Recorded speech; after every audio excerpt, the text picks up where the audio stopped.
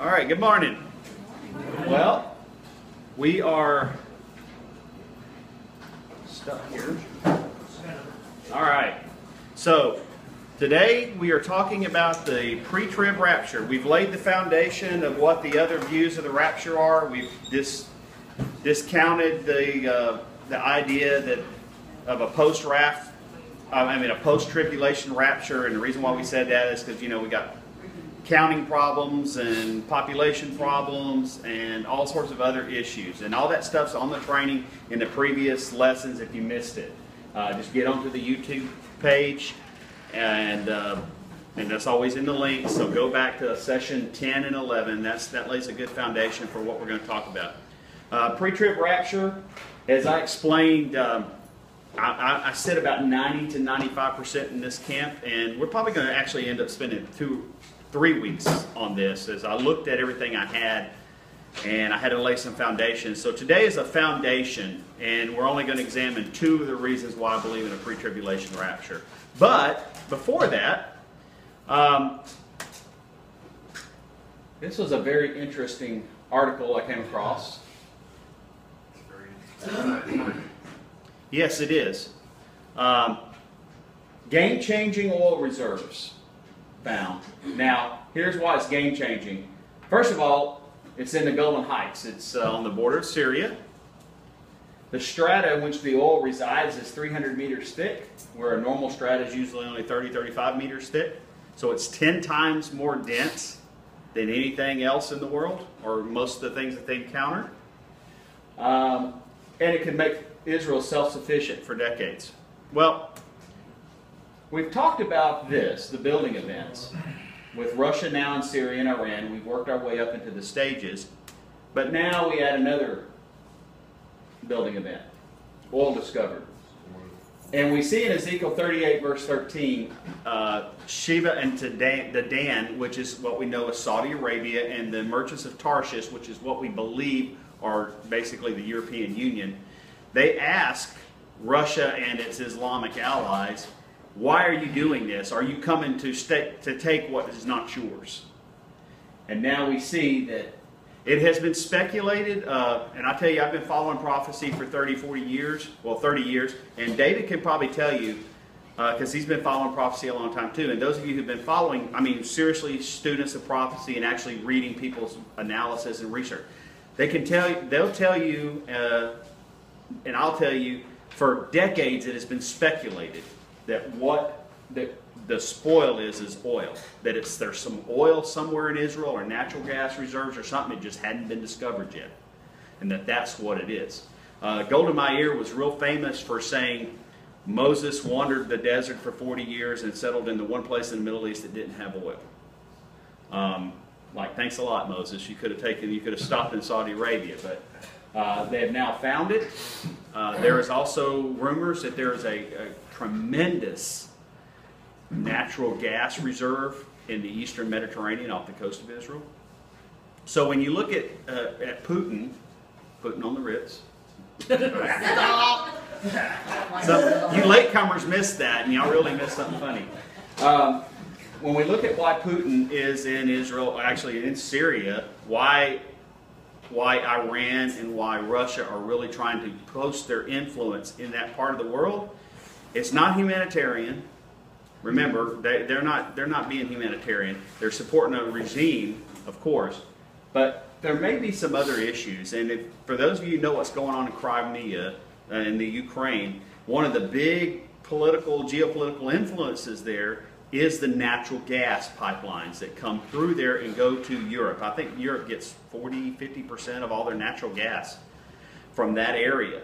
And that's the reason why Russia wants control of it because they can control the influx of, of you know, natural gas into all of Europe and really impact the, the prices at the pump and electricity and everything else. Well, now they have found huge oil reserves right on the border of Syria. That's where the Golan Heights is. It's right on the border. I mean, could have been somewhere else. It could have been out in the, no, it had to be right on the border of one of the most contested pieces of land in the world. We forget about the Golan Heights and how contested it is because they've made some agreements in the last 20, 30 years that have kind of ceded that area you know, to Syria, but they still own control of it, and there's still problems with Hezbollah on the Golan Heights. So this is real interesting. Is it another piece of the puzzle? I don't know. But uh, as I've always said, prophecy, figuring out any particular prophecy, is looking at a jigsaw puzzle. And, uh, and you put pieces together. You have all these pieces, and you know that that may be a hand or that's an eye, but you don't know where it fits. And unfortunately, it's like putting a jigsaw puzzle together without the box. Just a bunch of pieces on the table. And, and you can eventually do it, but it takes a while. And sometimes God puts those pieces in clumps together and helps you along. And that's what I think is happening here. So I wanted to talk briefly about that because it's, it's another example of what's going on in the building events. And I talked about this last Sunday night to our Sunday night class. And I told them, you know, it's so interesting because this literally changes weekly. These little stepping stones are popping up out of the water. They're these little rungs on the ladder to this global fight here in Israel. Is we don't know how this will happen, and there's still some pieces in here. One of them is right now, Turkey uh, is is butting heads with Russia. They're wanting to. We're taking our Patriot missile batteries out. They don't want that. They need to defend. They've act, they they said a couple of days ago that they had shot down a Russian plane, which was probably bluster. It probably did not happen, but it's Turkey saying that. So there's some conflict there. So the question I have is, how do they come into this? They're in this confederacy. So something has to happen that causes Turkey to change sides and to join these guys because right now they're fighting against them over ISIS because the Turks don't like the Kurds. And basically conned us a month or two ago into bombing the Kurds. Uh, if you watch World News, you know what I'm talking about. We got over there and, you know, flew, got some planes flying out of Turkey to, to drop some bombs on ISIS, and it turned out we dropped bombs on the Kurds and attacked the, and they used us to attack the Kurds, which is not what we were there for. So there's some things going on here. We don't know all these pieces of the puzzle. Okay, so that being said, we got to move on. So this is where we're where we're focusing our efforts now. We've talked about the pre-wrath. I'm about 5 10% in this camp. And we're going to look at some reasons why I'm here, uh, but mostly here. And today we're going to lay the foundation of why I'm almost positive we're here. But like I said, it's only about 90% positive. And we discounted this for the reasons we've talked about. So, hopefully you did your homework.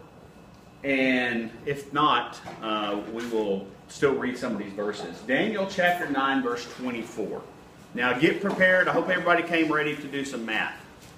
Everybody ready to do math? Remember, that was one of the problems with the post-trib rapture view is you had a math problem. Okay? If you can count, it's not post-trib rapture because Jesus is coming is no surprise. If you can count to 1260. Now, we could have a possible theory where Vanessa counts days different than I do. Okay? So, if I say how many days away is Thursday? We're going to go on we're going to go on a big trip on Thursday. How many days till our big trip? Which Thursday? This Thursday, this coming Thursday. Three. Vanessa would say three. I would say four. Because they're on the sunset. No, no, no. We're talking a trip to Dallas or whatever. If we go on a trip, Hypothetically. hypothetically, because she would not count today and she would not count Thursday. She would only count Monday, Tuesday, Wednesday. So for three days, that's her three days, where I would count Sunday to Monday, to Tuesday, to Wednesday, to Thursday. Four literal days. We got, you know, 96 hours. I was gonna say, do it in hours and you're okay. Yeah, exactly. But, so this has always been a running joke in our marriage for, for 18 years about the only two days to our trip. I'm like, no, it's three. I mean, it happens all the time. So, depending on how you count, if you include a day or not, uh, 1260 days from the abomination of desolation, we know we come to the, you know, the second coming. It's 42 months, 1260 days, three and a half years. So if you can do simple math, you know that Jesus is coming, you know, when, when the Antichrist declares himself God, and you can count to 1260, you know the day Jesus is coming back. It's in the Bible, it's in Daniel. So that, to me, how can Jesus say, I come as a thief in a night, and it's going to, a night, I'm going to come in an hour you think not? When, well, it's on a Tuesday, and, you know, he'd make himself a liar in his word. So Daniel 9:24 says 70 weeks are decreed about your people and your holy city. So who is this is Daniel being told this. He, uh, the angel is telling Daniel this. Who's Daniel's people? In context. It's Israel. All right? Thy people. And people specifically, the Hebrew word means specifically a tribe or a nation. Uh, people who believe in the post trib rapture or discount this will say that because Romans 11 says we've been grafted in, that we are now part of the nation of Israel. We are not part of the, we're part of the spiritual nation of Israel, but not the physical people. So that is a, I always like to keep my options open uh, on things that aren't written in stone. When, okay, for instance, John 14, 6 says, I am the way, the truth, and the life. No man comes to the Father. That is set in stone. There are no options you can go to. Because no man means no man. You have some gray areas here that we could say, well, maybe it's spiritual, but I don't think God does that. Because uh, I, I don't think He's going to reveal the church. Because that's what He would be doing. He's revealing the church age. And I don't think that that's, what, this is what this is about. Also, the holy city. The church age has nothing to do with Jerusalem. It's not, I mean, we all we do as Christians call Jerusalem holy, but so do Muslims and so do Jews. And I think it's it's very interesting that that is the pivot point of all of history. The pivot point. Everything pretty much that's been done in the last 2,000 years is somehow, if you, if you take a chain, it can go back to Jerusalem somehow. Even stuff that happened in Europe uh, can be traced through the, what, what the Roman church was doing. And you can go back to Jerusalem. It's a pivot point of all history. And for those, some of you may know, languages. If you are west of Jerusalem, you basically read from left to right. And if you're right of Jerusalem, you basically read from right to Now, there are some exceptions, but by and large, you read from right to left. Arabic, right to left. Chinese, right, you know, you're reversed because everything focuses on Jerusalem. What, what are we doing here? We're, we're finishing the transgression. Now, to put an end to sin, atone for iniquity, to bring in everlasting righteousness, to seal both the vision and prophet, and to anoint a most holy place. So those are the things that the 70 weeks are for. Okay, to finish the transgression, put an end to sin, to atone for iniquity. Now, what does these sound like? What does that sound like? What event in history did this? The cross. To bring in everlasting righteousness. Did the cross bring in everlasting righteousness? I mean, did the world become righteous at that time? No. So it's to seal both the vision and the prophet. Were there prophets after the cross? Apostle Paul wasn't a prophet? Okay. John, he's writing 65 years after the cross. So they obviously did not take that. And to anoint a most holy place. Was a most holy place anointed after the cross? No. I'll answer your question. No, it wasn't. Because the holy place was destroyed after the cross. Okay? That, if it's anointing, then it got anointed by a Roman legion. So, verses 25 and 26. Understand that from the going out of the word to restore and build Jerusalem to the coming of an anointed one, a prince, there shall be seven weeks.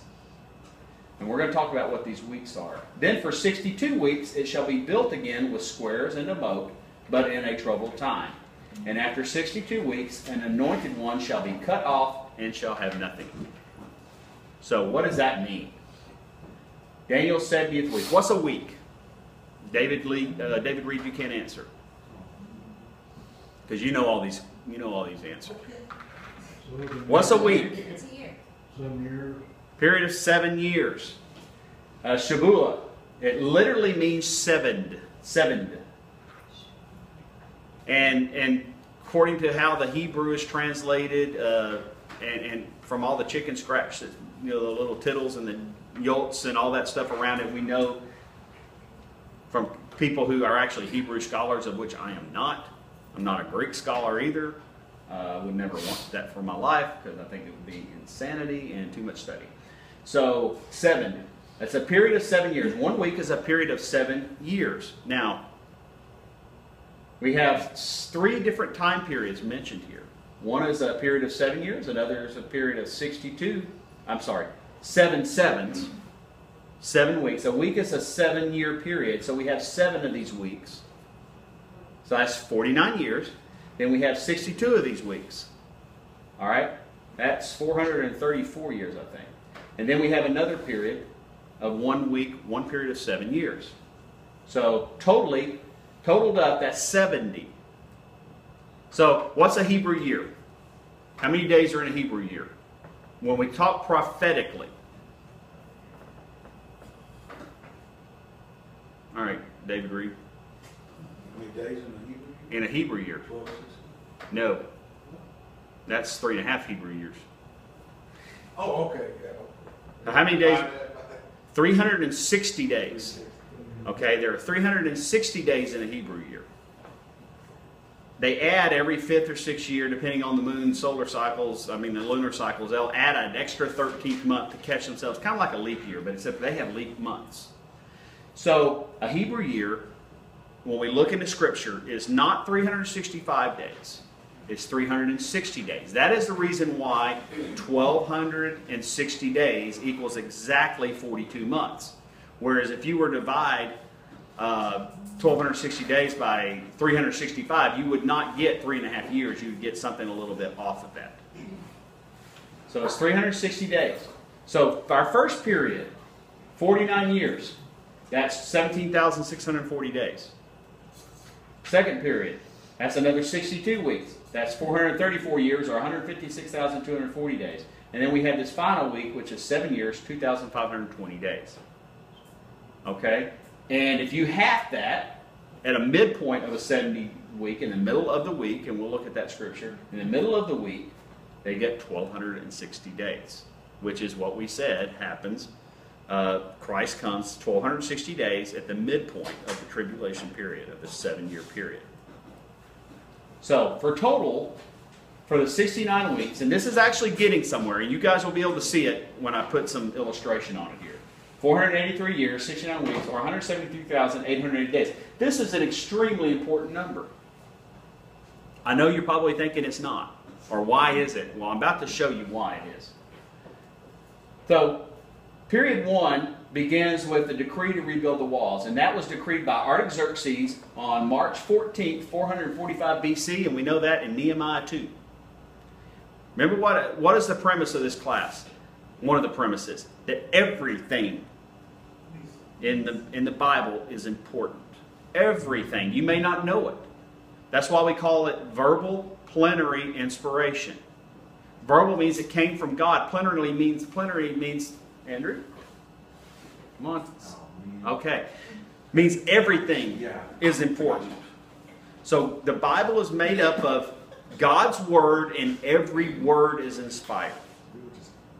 Even the little bitty things in Nehemiah 2 that we don't even look at, it means something. And in this particular instant, it means it, it plays into Daniel's 70th week because this was a prophecy by Daniel. Okay? This Daniel is saying that this 70 week period begins at the decree.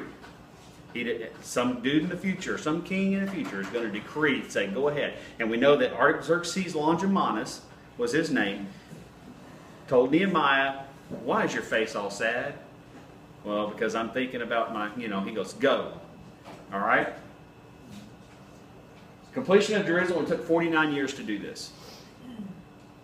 And then period two, the end of that 69 weeks, because remember, we have seven years, or, or 49 years. So, so a period of seven sevens, and then we had a period of 62 sevens. So they rebuilt, started the building, and then they, they finished. And then we had a long period of 434 years until something happened. and that is when the anointed one is cut off. So, if you count 173,880 days from, from March 14th, 445 BC, you get to April 6th, 32 AD. Anybody know what happened on that day? You're close. It was Palm Sunday. That was the day that the anointed one came in and declared himself king and was cut off by his people. This is the reason why the book of Daniel is the most contested book in the Bible. Because people who do not believe in the Word of God can't figure out how it can possibly have been written in the 6th century BC. They have said, oh, it can't be written in because it has all these accurate predictions of the kingdom of Greece and, and, and what's going to happen with the Roman Empire. So it can't be. It just can't be. Some of them even go as far to say that it was written in the first century AD, which we know is an absolute impossibility because it appears in the Septuagint, which is the Greek translation, and we know that dates to the third century BC. That's the reason why this is the most hated book, the most if you go look on Wikipedia, you will see that there's all sorts of theories about when it's written, but we know it was written by a man named Daniel in the 6th century BC, and that is the most accurate prophecy in the Bible. right there. Because if you count 1,007, uh, 173,880 days from that date, you come to that date, and that is the day Jesus declared himself king. That's a pretty accurate prophecy. And then he's cut off. That's Palm Sunday, cut off. Now, the word cut off there in the Hebrew, it literally means the death sentence of a criminal. That's interesting. Because if you read it in the English, remember what I said? We got to get into the Greek sometimes, or the Hebrew. You got to get into the original language. Because if you say cut off, if I say cut off to you, that means, hey, I'm cutting them off. All right, that means I'm just not going to talk to them anymore. That's our context, that's our culture. In the Hebrew, it means a death sentence of a criminal. So, in other words, they're going to treat the anointed one as a criminal and sentence him to death and kill him. That mean a little bit more now? So, 70 weeks to finish the transgression. Also, literally means to finish the rebellion. What is sin? It's rebellion against God. And what did Jesus say on the cross? What were his last words? It is finished. Into my hand, into thy hands I commit my spirit. It's finished. Tetelestai in the Greek. And tetelestai in the Greek literally means ain't nothing else coming after. It's not like the end of a movie because you can stay for a double feature. It's the end, period. Done. Finished put an end to sin, the condition of sin, to atone for iniquity. And that's what Jesus did. He atoned. So, all of this takes place in the first 69 weeks, at the end of the 69th week. Now, we still have a, a, a, dang, a, dangling Chad out there, right? A hanging Chad. It's that 70th week. To bring in everlasting righteousness. That's the millennial kingdom. That happens at the end of the 70th week. So these, what's interesting is these first three things happen in end of the 69th week, and these last three things happen at the end of the 70th week. And notice they're in order. A casual reader of the of the book of Daniel, or maybe even a scholarly reading of the book of Daniel prior to the cross, would have seen all of these together. Because that's what the Jews did, right? They lumped the comings together. First and second coming were together. They didn't see that there was a 2,000 plus year separation. But there is. But Daniel, through the inspiration of God, put them in order. Now, it would mean a whole lot less if this one was up here and this one's down here and they were jumbled. But it's in perfect order. Because when he, when he said it's finished, the condition of sin was put done, and the atonement was made with his death. And then He brings in everlasting righteousness to seal both vision and prophet. If this doesn't happen until the 70th week, we need to remember that cessationist argument that some Baptists are known to have and other people are known to have that the gifts, especially the gifts of prophecy, the gift of knowledge, the gift of tongues, and those things, because they say what that which is perfect shall come is the scripture, even though you, you have to guess that that's what the scripture is talking about. Because, and now I'm talking out of 1 Corinthians 13, because we can't have we can't prove that that which is perfect is the scripture. However, Daniel says here uh, to seal both vision and prophet. That's when they're sealed, not until the end of the 70th week. And we also know in Revelation 11 we have two witnesses that are prophesying. So if you call something to cease, which is what people say, the cessationists will say those gifts ceased. That word in the Greek, ceased, means it can never, it's like tetelestai, it can't be undone. So how are two prophets prophesying if something has ceased to happen at the canon of Scripture? Or when John basically said the end in the book of, of Revelation in 95 AD. If those cease at that point, then none of this can happen. Y'all following me? Okay? So that's the important that's that's the reason why we have to look at scripture as a whole. And I remember when I came across that idea that wait, I was reading Revelation, it's about 20 years ago, and I'm like, well, how can the gifts cease if I've got two prophets prophesying? How can that happen? So it must mean something else. Yeah. Am I misunderstanding, or if I, I've got a question, if the Mhm. gifts cease, then how is the book of Revelation written? They say it ceased at the begin at the end of the, uh, when John said Okay. the end. I just want to make sure. Yeah, with or with the canon of Scripture, it ceased. And but like I said, the prob- the problem with that is that you have to assume that that which is perfect shall come is the Scripture, because that's what the script. Uh, can somebody look it up for me? It's 1 Corinthians thirteen. Uh, like is it 10, 8, 10? It's in the love chapter. For I know in part, I, I you know, I you know, I'm looking through a glass dimly. It's that whole section there, and we're First Corinthians 13. It's the love chapter. Um, 1 Corinthians 13. It should be down verse 10. Uh, twelve? Yeah, No, we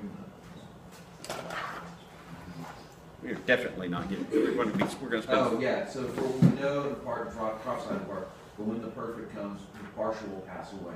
Okay. Does So anybody? nine. Okay. Nine and ten. Yeah. Okay. So does anybody hear the word Holy Scripture in there? No. Do you, do you know from the context of the passage even, or from the Greek that's used, what that which is perfect is actually talked? So we have to make assumptions. Am I correct? And when we make assumptions that it's the Scripture, we have to back it up. If something's not written out, spelled out, we're going to have to then find clues at what it means. And so my whole point here is that if prophecies and the prophets aren't sealed until after the end of the 70th week, then that means prophesying can't be sealed at the at the first century AD. Okay, it just can't. And there's also that problem of uh, Joel chapter 2 in the latter days. Now, I know Peter quoted it, but he didn't quote the whole thing. And it, it, in the latter days, your old man will dream dreams, your young man will have visions. That's prophesying. That is foretelling the future. And that's in the latter day. And if that's sealed,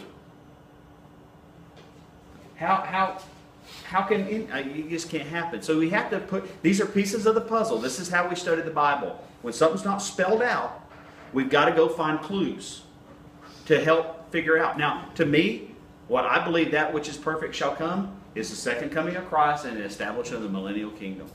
Because at that point, all that, there is no need for prophesying anymore. There absolutely is no need. And all of you have heard stories and probably some of you have experienced this. Um, you know what? Don't do this because bad things could happen. You, it's a feeling you get. You get a bad feeling. It's the Holy Spirit telling you not to do something. I was in an accident when I was 14 years old, driving with a friend coming home from a football game, and my mom knew I was going to be in an accident. And for the whole time I was gone, she was in praying on her knees. Lord had revealed to her, lift your son up in prayer, he's going to be in an accident. And sure enough, we hit a deer, and I was in an accident. We hit a culvert going 53 miles an hour. I didn't have a seatbelt on. It was 1982. We hit a culvert uh, because the guy swerved to miss the deer. We got into a deep ditch, hit the culvert. The speedometer stuck at 53 miles an hour. I didn't have a seatbelt on, and I did not go anywhere. I didn't fly into. You go from 53 miles an hour to dead stop and see what happens to your body. I had no. I, I, I hit my knee on the console. That was it. Nothing happened to me. I was literally held into place. Now, that was a future event that the Lord revealed to my mom. Granted, it was only three hours in the future, but that's what prophecy is. Is a foretelling. It's also foretelling of the Word of God. But it's also foretelling of future events. And if that which is perfect was the Holy Scripture and prophecies and knowledge, words of knowledge and stuff like that ceased, then my mom should not have had that experience. But she did. Because I remember I walked in the door. I'm buying some time here because I'm not going to be able to get to the, the big thing here. I walked in the door and my dad said, Hey, how'd the game go? I'm like, Well, it went okay. We won, but we were in a bad accident.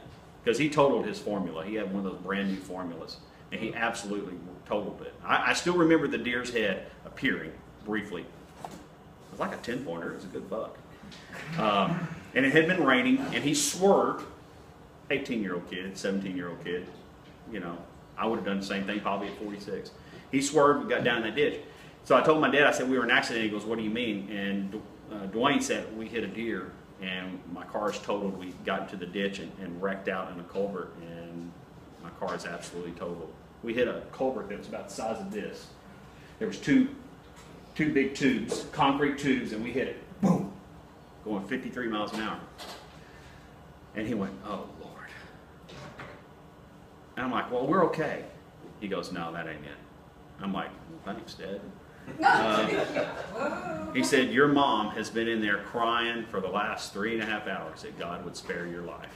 Because she told me that this is going to happen. And I've been sitting the last three and a half hours telling her to get off the floor, that, that, that you're being stupid. My mom heard that, I guess heard the door and had walked around our house because her bedroom, she walked around the house. She walked in about 10 seconds after dad had told me that. And she walked in, she had a big smile on her face. She said, Thank you, Lord, I see you're okay.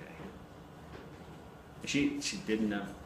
But she knew so much so that I was going to be in that accident that she didn't even see come to me and go, Were y'all in an accident? Is everything okay?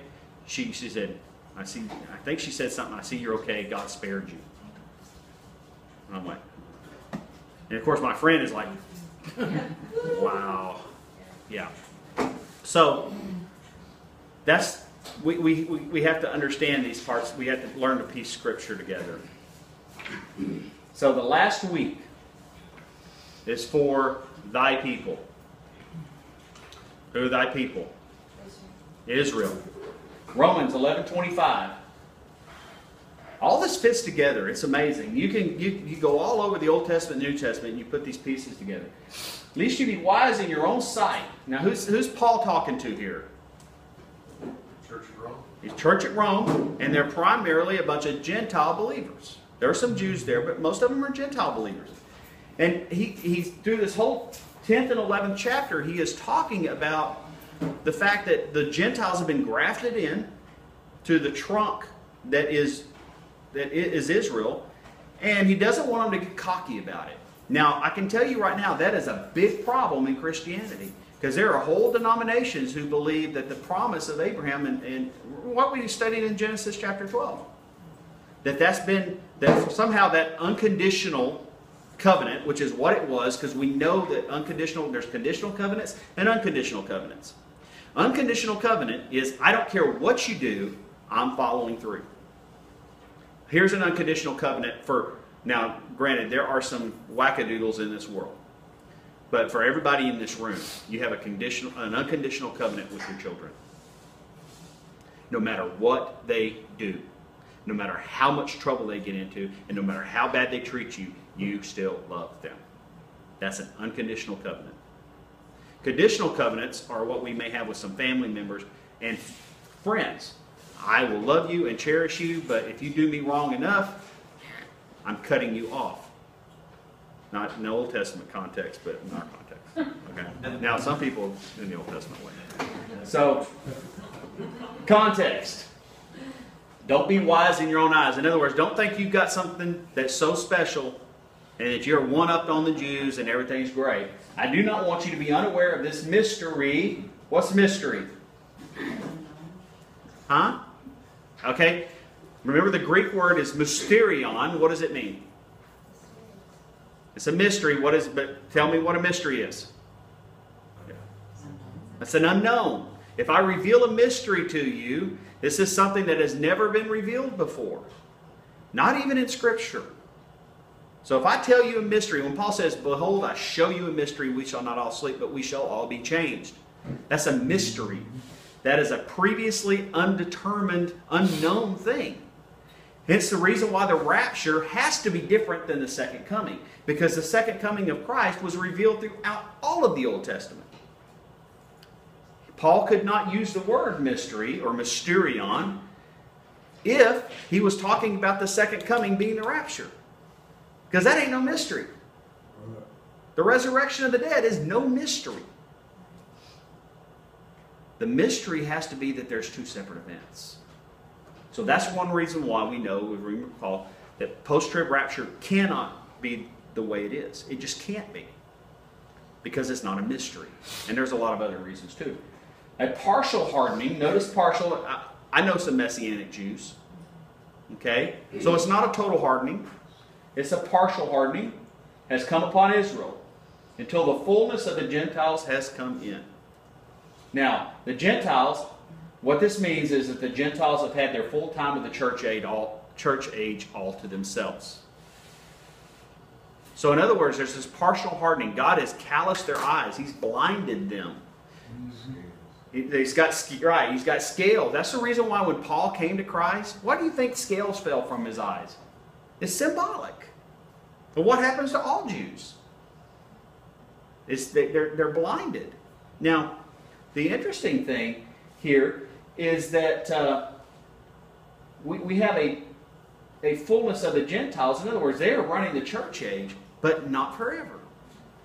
There is a number. Now, it doesn't mean that Gentiles won't get saved afterwards, and we know through Revelation that that's that's going to happen because it says that there's martyrs during this period from every tribe, every tongue, every nation. Any Greek word that could possibly be used to denote a different type of people or a different race is used. Whether you're American or whether you're uh, Scot Irish or, or whatever, there, there's those different Greek words are used to show that there's there's a mix there's there's a potpourri of people that are killed for the cause of Christ in the tribulation. Um, so the, the fullness at some point there's a there's a countdown number, and we don't know what that number is. So at some point that clock runs out, and then we get into the last week, and that is for thy people. They have to do this. We don't do it. And if it's seven years, how can we do it uh, if we're here? Because the Jews aren't just going to all of a sudden take over every church in the country, uh, every you know the Billy Graham Association. Okay, they're they're not. How can they do that? Yeah, they could come join us if we're here, but there has to be in order in other in order for this to occur, there has to be a vacuum to be filled, so that they're now the leaders. And I believe that's the rapture of the church. So, because we see in Revelation 7 4, the number of the sealed was 144,000 from every tribe. There's that word. Remember what the word, the, the people, it's another word for basically tribe. For every tribe of the sons of Israel. And we'll look at that at a future date. So, during the last seven years, the Jew will be in charge of spreading the gospel message, not the Gentile. You're going to have 144,000 Billy Grahams set loose This is the JW period. that got pretty much debunked. What? Yeah, the, the Jehovah's Witness theory was that uh, the 144,000 were Jehovah's Witnesses. And that the end of the world would come once their church membership had 144,000, because that would be the sealing of the last, you know, the 144,000. And then when they grew past that, you had to kind of had to change some things. It got quiet. that. got quiet, heard some crickets, and then they said, "Oh, it's spiritual."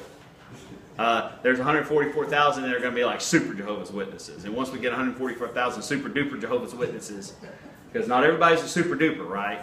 Some people are just super, and some people are duper, but not everybody's super duper. So- Yeah, exactly. And so I'm going to close it with this. This we're now getting into the things that are going to take place hereafter. All right, and this is where we're going to stop. Uh, and I'll pick it up next week because I don't want to. I don't want to rush it. I want to talk about this for a few minutes. After this, I looked and behold, a door standing open in heaven, and the first voice which I heard speaking to me, like a trumpet. Yeah, I think that's very interesting. That the voice talks like a trumpet. And it said, Come up here, and I will show you what must take place, place after this. So remember, we had our, our things before, Revelation 1, the things that are, Revelation 2 and 3, the things that are hereafter, Revelation 4 and on. So this is future event. And we see that for the future event, we have what's Revelation 2 and 3 are addressing who? The churches. All right? What's interesting is the church is never mentioned again after chapter 3. You never see the word church again, it is absent. Yeah, you never see the word church again. You never see the church again. You would think for, for the Lord who spent so much time in the first three chapters talking about the church, the lampstands, and this church and that church, and hear what the Spirit says to the churches and all these things. And now, for the remaining 18 chapters, crickets. And it happens after he is told to come up here. Nelson, you don't think that seven nine is speaking of the church? No. No, we'll, we'll get into that.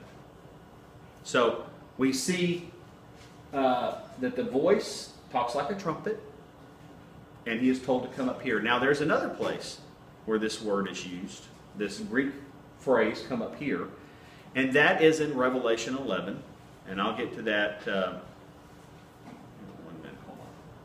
So the voice is like a trumpet. Now, I think this is an illusion because in 1 Corinthians 15, 52 and 1 Thessalonians 4, 16, we know that this is talking about the rapture. The timing is, is, is debatable, okay? But we know it's the rapture.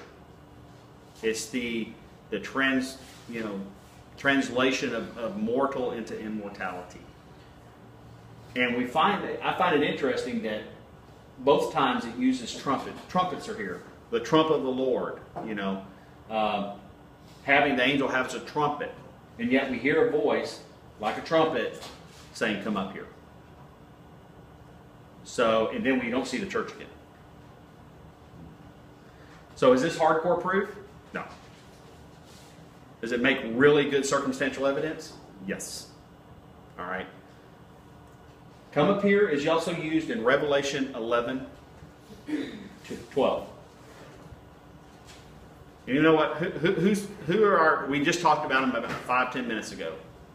There's a couple of guys in Revelation 11. Who are they? Two. The two prophets. And how long do they prophesy for? Three and a half years. They are given the Antichrist All kinds. of mess. And then they kill them. They finally are able to kill these guys. And how long do they lay? They lay there their dead bodies. Three and a half days. Now, what's interesting is, is that it says that people of every tribe, and we'll talk about this, I'm going to get ahead a little bit. Every tribe in the world are sending presents to each other, like thank the Lord, you know, and I'll probably not thank thank the Lord. The guy sitting, you know, they, they finally took care of these two guys. Now, this was a prophecy that was not possible up until the last century, because there is no way 500 years ago, 100 years ago, 50 years ago, maybe 50, 60, but since the 50s, that you could have people watching the, de- the prophets laying dead in the street from every tribe at the same time. It wasn't until the invention of satellite television, satellites carrying live signals, or back in the day they had big cables that went across the Atlantic. It wasn't until those days that you could actually watch. You could have heard it on the radio 50 years before, but you not until those days. And now, if anything happens in the world, we see it on CNN and Fox and MSNBC and ABC, CBS on our phones. So we see that that was a prophecy. And after they are they are dead, they are resurrected, and the words that are used with their resurrection are come up here. And it's the only two places in the whole Scripture that that phrase is used. Come up here, and it means basically to translate it to heaven. So some more circumstantial evidence. So what are our questions? I got one of these clarifying. Okay. Uh, you said after, chapter four, well, it says in Thessalonians, and so shall you always be with the Lord. Right. Mm-hmm. And we're going to talk about First Thessalonians next week. You look around about the throne where Jesus at, it says you got the twenty. Ah, that that is the that is next week because see there you go. That's what I didn't get to this week. We're talking about the 24 elders next week. And the four beasts. And the, four- we'll, we'll talk about the four beasts in a couple of weeks, but we're talking about the 24 elders are next week. So if you don't know what we're talking about, you need to read Revelation 4. If you Uh, four one and go to seven nine and read that. For- And I, I'll have to admit, I had a really easy time preparing this lesson because I wrote a thesis for partial fulfillment of my, my master's on the 24 elders. And all I did was go back into my stack of stuff and open that file. And I had remember I, re, I was I had forgotten so much of what I wrote. But I went through that. That's what I did yesterday. Was I actually went down and reread my thesis. So I actually did a thesis on the 24 elders. And I'm going to spare you guys most of it, about 95% of it. All right? But the 24 elders, just a sneak peek, they do represent the church. And there are reasons that I've got on this PowerPoint already that are that show why they are the church. So hang on to that. You, I'll answer that question next week. Yes, sir. In the notes here, it says, "Come up here is understood by some interpreters to speak of the rapture of the church in the middle of the tribulation, though this passage refers to only two people." That's what they think. Yeah, yeah, and there is the question, and you put that in the middle of the tribulation, uh, and a lot of it depends on how do you translate or, or, or interpret the Book of Revelation. Uh, a lot of people will take the Book of Revelation and they mix and match, and and, and to some extent it is mixed and matched. Uh, but as far as the revealing of the prophecies go, I'm always a literalist, and I take it in chronological order that God, when He was revealing this to John, didn't go, okay, you know what, I'm going to show you something that happens in 2135 years. Oh, now it's 2130 years. Okay, this one's 2133. That, you know, I think God is revealing to John in sequential order. And that for the most part, that's how the book of Revelation is. But now we do have some things that are stuck in there. Uh, Revelation 12 is stuck in there. But even that, what happens in Revelation 12, part of it, is in sequential order. And you'll see that as we go along. But it depends on how you're going to interpret the scripture. How you're going to, you know, because there, there are a lot of people who will say that the seals, the trumpets, and the bowl judgments are the first seal, the first trumpet, and the first bowl judgment all happen at the same time. And then the next seal, next trumpet, next bowl all happen at the same time. Whereas I believe seal one happens, two, three, four, five, six, seventh seal opens the seven trumpets. One, two, three, four, five, six, seven trumpet opens the seven vial judgments. One, two, three, four, five, six, seven. And then we have the end, which is that's the chronological order.